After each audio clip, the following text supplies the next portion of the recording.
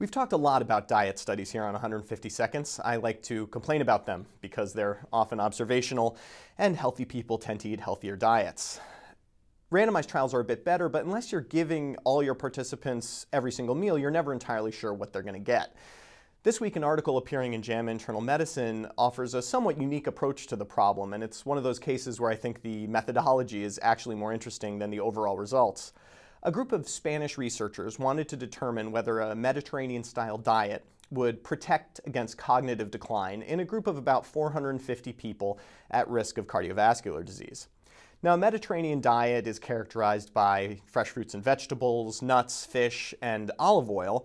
Micronutrient wise, we're talking about mono and polyunsaturated fatty acids, which may have antioxidant and anti inflammatory properties. The authors randomized the participants into three groups a control group, which was just a low fat diet, and then two Mediterranean diet groups. And here's the interesting part.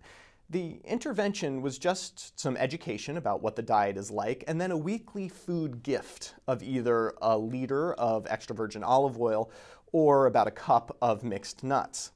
Interestingly, after four or five years of follow up, the people that were getting these Mediterranean style gifts had significant changes in their dietary intake. Their caloric intake didn't change, but their carbohydrate intake went down significantly and their polyunsaturated fat intake went up. Now, the primary results weren't quite as sizzling. There was mild cognitive decline in the control group and a bit less cognitive decline in the Mediterranean diet groups, but effect sizes were small overall. There are a few blemishes in the study that I should mention. The first is that for the first half of the trial at least, the control group wasn't getting quite the same level of attention as the intervention groups. They didn't have as much face time with the study coordinators. That means they may have been less invested in the study and might not have performed as well on subsequent cognitive testing. The second issue is a relatively high dropout rate, around 25% overall, which was differential between the groups.